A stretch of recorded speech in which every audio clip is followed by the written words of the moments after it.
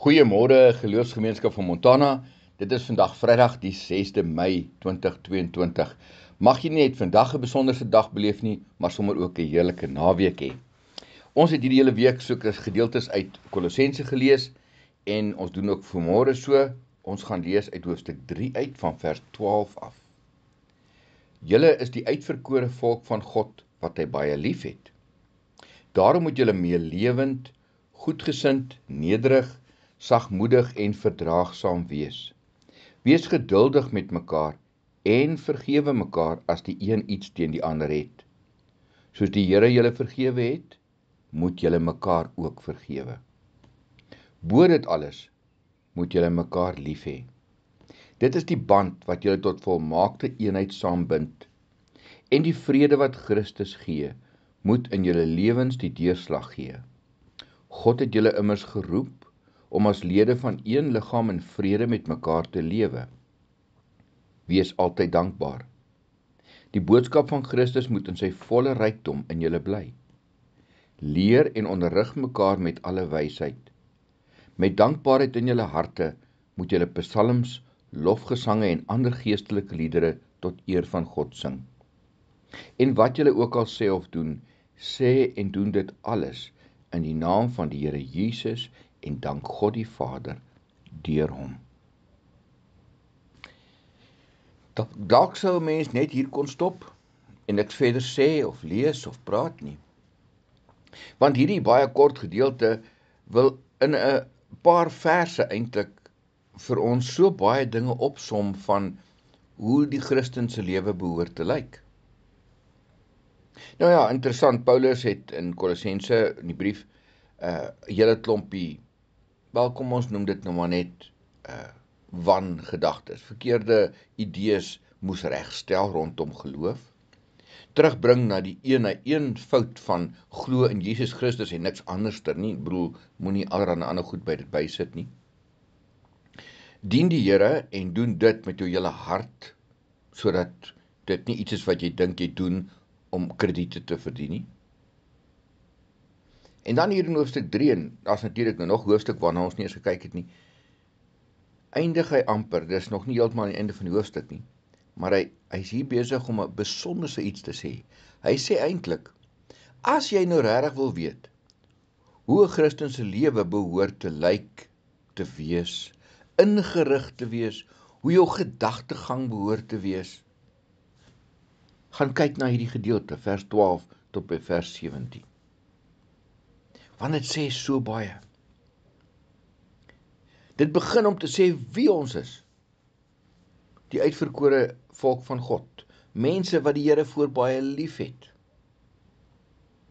Maar natuurlik moet ons ook sekerlik terug kan sê Here, ons is lief vir U.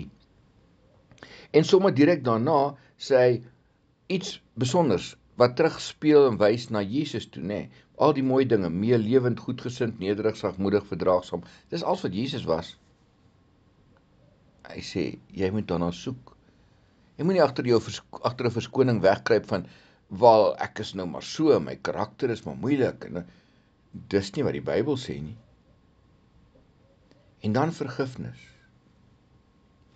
Ons vergewe tog so moeilik vir mekaar. En of dit nou noodwendig altyd een of ander baie mooi rede het van hoe seer gemaak ek is en hoe te nagekom ek is wat sou Jesus moes sê? Hy is dan nou tot te nagekom tot tot die dood toe. Nie een van ons is nie. En daarom het jy eintlik geen rede om nie te kan vergewe nie. Al is dit hoe moeilik. Jy moet kan vergewe. En dit word ook vir ons gesê, soos die Here julle vergewe het, moet julle ook mekaar vergewe. Ja, dis 'n hele mond vol. En natuurlik die dankbaarheid en daaruit spruit ook wat ek het altyd die uitdrukking om te sê jou dankbaarheid moet by jou vingerpunte uitkom en dit het ons oor die hele week na oor gepraat en gedink en gesê, maar dis dis waar my aksie in die gemeente moet vandaan kom. Nê? Nee? En dan ook moet ons uit dankbaarheid geestelike liedere sing en by mekaar kom en mekaar bemoedig. Dit doen 'n mens natuurlik gewoonlik in 'n gemeente waar jy as 'n geloofsgemeenskap kan saamkom. Nie net op 'n Sondag in die erediens nie, maar om 'n deel te wees van so 'n geloofsgemeenskap. En uiteraard wanneer mense na hierdie luister in die oggend, dan is ons deel van 'n geloofsgemeenskap en moet ons ook vir mekaar kan bid en aan mekaar kan dink en mekaar kan ondersteun. So in kort vers 12 tot by vers 17. As jy ooit gewonder het hoe behoort jy jou lewe in te rig? Hier is jou antwoord. Kom ons bid saam. Here onsse God, as ons hierdie paar verse lees, dan kry ons partymal 'n bietjie skaam want ons kom nie naaste by daarby uit nie. Maar ons wil graag daarna streef en ons wil vir U vra Here Jesus, help ons om hierdie fokus op U te behou. Maak nie saak waar ons is nie, by die werk, die skool, uh tussen ons vriende, by die sport, waar ook al, sommer maar net in 'n winkel, dit maak nie saak nie. Help ons om hierdie besonderse gesindheid te behou. En dalk die moeilike een om te vergewe, om regtig mekaar te vergewe soos wat U ons vergewe het om telkens van vooraf met iemand te begin. Daarom Here, dankie. Dankie dat U ons so liefhet dat ten spyte van ons tekortkominge U ons so so baie liefhet. Ons is ook lief vir U. En ons sê dit en verklaar dit in U naam, in naam van ons Here Jesus Christus. Amen.